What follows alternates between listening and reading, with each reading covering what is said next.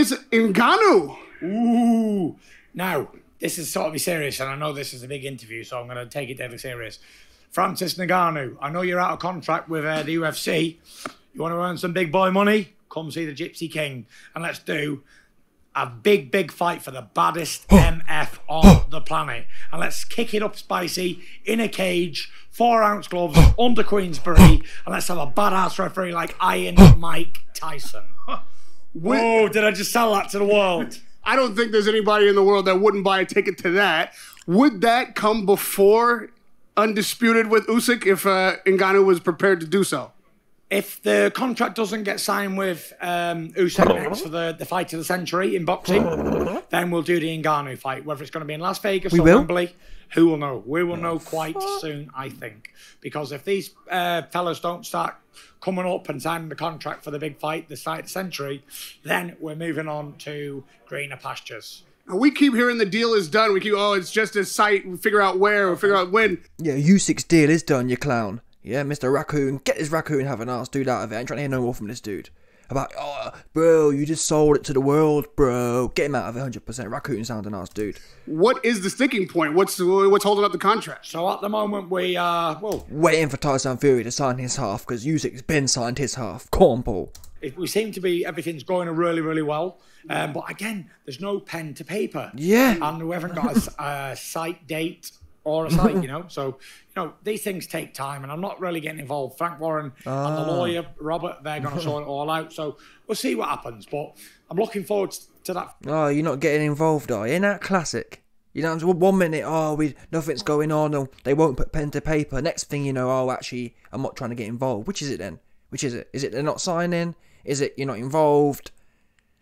I leaked a video a few days ago. I can't bother to go and show you, my receipts again. The fact of the matter is, Usyk has been signed. Yeah, he's signed. It's Team Fury, allegedly complaining about the level of coinage. Usyk signed people. Forget about anything. Oh, Usyk, oh, I'm sick of people not signing. And what worries me is, what does a man, or what's going through a man's head, to sit there on international TV and tell everyone, tell Joe Public, I'm getting tired of waiting. Oh, if this fight doesn't get signed soon, I'm going to fight Ngannou.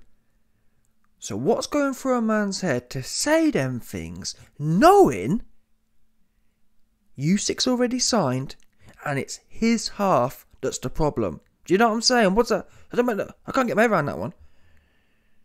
And the only explanation, or the only likely, not even likely, the bottom line is for someone to say them things, knowing the facts, knowing Usyk signed, knowing they're the ones holding out, it means you have no intention of making that fight because you're putting out pure lies. Fury could say, listen, people, can't tell you much, but things are going on in the background. But the fact he comes out and literally says, oh, he says the opposite of what's true. Yeah, people are, oh, the problem right now is no one wants to sign. What the f- Usyk signed. Do you know what I'm saying? He's the problem. Usyk's been signed. You're the problem.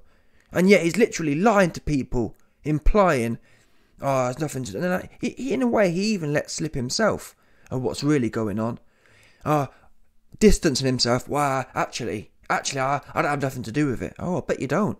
Now it's not being signed, is it? Because guess what?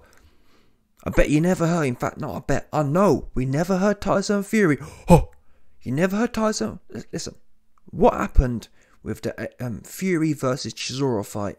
Yeah, Fury versus Chisora three in December. I'll give you man ten grand if you can find a video of Tyson Fury saying, "Oh, you know, I'll leave it. I ain't got nothing to do with the Chisora fight. I leave it all to Frank." Yeah, in fact, scarily enough, what do we know? The two fights that didn't get done. Fury versus AJ. What did Fury say? Ah, not touching it. I'm leaving it to Frank. And um, F- Tyson Fury had Frank Warren's son all in the video and doing way too much. And now we've got the Usyk fight. What's Fury saying? Oh, I don't touch your apples and pears. Yeah? But guess what? When he was fighting Bumzora, he was in the video. Oh, oh, oh, giving all that saying, Don't worry, take plenty of time, Derek. Literally, he was giving Derek Chisora, Bum Zora, a whole bunch of extra time. Oh, don't worry, Del Boy, you're my mate. All the Fury fans were saying, "Oh well, YB, you got to understand, they're friends. He's helping his mate out." What do you mean he's helping his mate out? You mean the fans are helping his mate out? Tyson Fury didn't put his hand in his own pocket. If Tyson Fury wants to help his mate out, put his hand in his own pocket. Don't take the public's money. And then that's what I never understood with these celebrity guys. The public love giving celebrity cats credit for things that they ain't doing. It's like when I hear about a celebrity. Oh, celebrity raises over seven million pound, and you think, well, you'd think they was the ones giving the money out. In reality, like the celebrity gets all the credit for it. Oh, they raised this much money. All you hear about, oh, but David Beckham raises 10 million or whatever it is. Tyson Fury raises 5 million. As if it didn't come from the public. Do you understand? It's, it's, it's, it's all back to front. It's all what, mushed up. Oh, no of a lie. A whole bag of people in my comment section. Oh, we have to YB step off that. You know, um, we've got to give respect to Tarzan Fury for helping his mate out, Dell. How exactly? He punched a bunch of brain cells out of his Nelly. He ain't got much left. And then, really, scammed the public. So, wait, wait there. You scammed millions of public to help Derek, who, by the way, is already doing better than 99.99% of the public. You know what I'm saying? But then again, you man love it. Yeah, I've, every day it goes by, I'm convinced. We already know there's a subsection of fin fin cuck dons. Yeah, there's a load of dons out there who like to be fin cucked. There's certain dudes who work all week, get their pay packet, and give it to some next female. That's what you mans be on, on a in, on the national scale. These Tyson Fury pay per views, they're fin scams. And you've heard the next one. I mean, look at this raccoon looking ass dude here. Look at this clown. Big clown wannabe ass. Well, and it's interesting. A few days ago, people, oh, months ago, people said, YB, you know, he's not a raccoon. Listen, listen just just peep this guy for a minute. Peep this guy. Now, this is sort of serious, and I know this is a big interview, so I'm going to take it deadly serious. Francis Ngannou, I know you're out of contract with uh, the UFC. You want to earn some big boy money? Come see the Gypsy King, and let's do a big, big fight for the baddest MF on the planet. And let's kick it up spicy in a cage, four ounce gloves under Queensberry, and let's have a badass referee like Iron Mike Tyson. Whoa, did I just sell that to the world? I don't think there's anybody in the world that wouldn't buy a ticket to that. Would that come uh-huh. before? I don't think there's anybody in the world that wouldn't buy a ticket to that. Did I just sell that to the world? I don't think there's anybody in the world that wouldn't buy a ticket to that. Oh, did I just sell that to the world? I don't think there's anybody in the world that wouldn't buy a ticket to that. Would The fuck? Where do they find these corny sounding dudes that get the guy out of 100%? God, and it's, it's people like this dude here, yeah, Mr. Raccoon. It's people like him. These guys signify the Fincock problem in society right now. Did you hear him? Look at my man. My man was grinning. Look at his grinners. This cut here is what you call. Look at him. Look. Look, look at him. Look, look, look, look, look, look. Look at his Four ounce gloves under Queensberry, and let's have a badass referee like Iron Mike Tyson. Whoa, did I just sell that to the world? I don't think there's anybody in the world that wouldn't buy a ticket to that. Would that come before undisputed with Usyk if uh Ngannou These guys got no shame. I'm almost lost for words. Yeah, listen, if my name weren't the YB, I'd be lost for words right now. And that's why Peter YB should go there and interview people. Are you joking? Have you seen the, uh, Gareth A. Davis? If it's not Gareth A. Davis, big long hair Russell Crowe wanna be asked, dude. It's this cat here. About we, Pe- oh, you've sold. Never mind, you've sold it. Do you see his face? Wow, you've sold. Honestly, he looked like he getting top off one of I don't know who off of some next OnlyFans chick. I've, honestly, I've seen Donnies getting topped by some next OnlyFans female be less gassed, be less grinners than this guy here, Mr. Radio Raccoon. Look at the guy, unbelievable. And it's it's things, it's the lack of pushback, yeah, that makes it a possibility or makes it, yeah, makes it even part of the universe. Fury versus Ngannou. I ain't got listen. I ain't gonna lie to you. I haven't got a problem with the fight. Let Tyson Fury punch up Usyk, punch up Joe Joyce, and that really is about it for me. Who else is there? Two more fights. That's essentially 18 months. Yeah? Fury versus Usyk 1 and 2. And Fury versus Joe Joyce. Anyone else, Hrgovic, and he's already been beat. Zhang, he would have already been beat by Joe Joyce. So that's really it. Fury versus AJ, I'm not interested at all. I don't need to see that. I've seen little midget Don. I've seen middleweight punch AJ up. So there's two fights left. But for now, about and this guy here, he's supposed to be someone who loves boxing. Radio Donny here. And he's there just gassing Fury up. And I understand it. Unfortunately, this game, you have to be that way. It's like Ben from Fight Hype. Ben from Fight Hype. He stay licking Floyd backside. Cause they know that's how you you can't be you can't call a spade a spade and be in that game. So I understand it, but still, that's why you would never see me out there doing them things. No shame. We know the only fight that make not even makes sense. The only fight right now is the Usyk fight, and yet you're there gassing Fury up. Did you hear him? Oh wow, you've sold that to everyone in the world. The fuck? Unfortunately, that's the thing though. I can't even call him a liar. It's probably a 10 million fincock dons out there getting their card out, throwing, dashing it at the screen. Can't wait to put some coins into that crap. And to be honest, it's not even, I think in four ounce gloves, it's not even a bad fight after we've seen the Usyk and Joe Joyce fight. Yeah, Fury can punch up Joe Joyce and punch up Usyk. At that point, for me, he will have earned the right to do some cornball fights. Because who else is there? Okay, maybe actually no. Joe Joyce, Usyk, and Jarrell, Jared Anderson. Them three. Three young bulls. Well, not young, but you know what I'm saying? Prime dudes. They're the ones we want. Then you can do all the weird MMA rubbish. But to be decided, wait a minute, you're in the middle of negotiations, allegedly. That's what I, you're in the, you're in the middle of negotiations. And you're out here talking about, oh, I've got a brand new one for you. The question is, why couldn't Tyson Fury come out here and say, boom, I've got a brand new one for you. Here we go, people. The Usyk fight. Here's my sign. Like um, um, Nigel Benn versus um, Chris Eubank Jr. Senior, sorry. They were on the BBC. Look, people, I've signed it. Why couldn't Fury pull that one out? Look, people, Usyk signed three weeks ago. Here's mine. Yeah, signing off on it. I bet I've got Ngannou. I can't get my head around it, people. It's wild.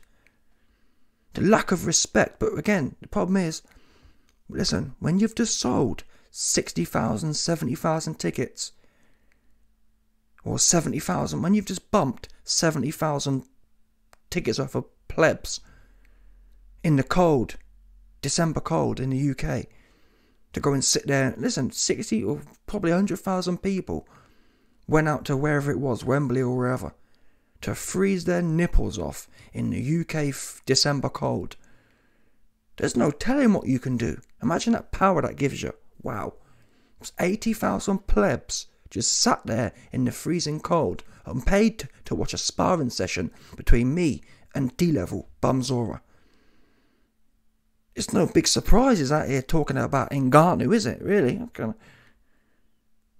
For all due respect, I think the Ngannou fight's more of a test than the Chisora fight. I'll be honest. Do you know what I mean?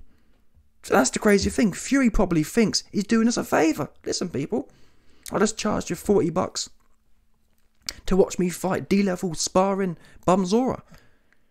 Of course you're going to be grateful now I'm going to fight. At least he's half decent. At least he's half young. At least he ain't been fully washed in Ngannou. You know what I'm saying? And then on the back of that, on the back of talking about a completely different fight, he's then lying about how other people ain't signed. I'd, I'd respect Tyson, and obviously he ain't never gonna do this, but I'd respect him more if he just came out and said, "Listen, I don't want to have any real fights." I mean, that's what he's doing anyway, regardless of whether he says it or not. That's what he's doing. His behaviour is showing. Don't listen to what people say. Listen to what they do. What's he not doing? Well, wait a minute. He just fought Bumzora, And now he's talking about fighting MMA fighters. Meanwhile, the Usyk sh- rubbish gets dragged out and out and out. And the last time, I have to be honest, the last time, yeah, a Tyson Fury negotiation got dragged out this much. It's been two and a half months, people. Two and a half months, literally. December 3rd to middle of February now. Two and a half months. The last time Tyson Fury negotiations were stretched out this far, the fight don't happen. But not only that, the last time negotiations were dragged out this far, the fight only happened when what? When the judge ordered it to be so. For example, AJ versus Fury, twice. We just had the last saga in September. That fell through. Yeah? The one before that. The first half of 2021. That fell through. Dragged out. Yeah, both of them dragged out and fell through. Wilder versus Fury 3. That was dragged out. The only difference, the only reason that fight happened was why the judge ordered it. My point, well, guess what? Unless any of you man have got a judge to order this fight, the odds are saying right now, you can forget about it. It's not going to happen. That's what the history shows. Give me an example of a fight where Fury's had, yeah, where it, it, it strung out for three months, four or five months, and then it ma- magically happened at the end. And you got to remember as well, these clowns, these Team Fury clowns, have been telling us since how long, God knows how long ago. Oh, it's done. I had people in my comment section, YB, why are you lying on him for? Frank Warren just told us it's all locked in and signed. They've been saying that for two months. Yeah, and, and it was only a week ago they was telling us, oh, well, you know, fighters only have 20 years to make hundreds of millions, so, you know, the public need to understand that fighters are only making 30 million for 30 minutes work, so they don't have a lot of time to make enough money.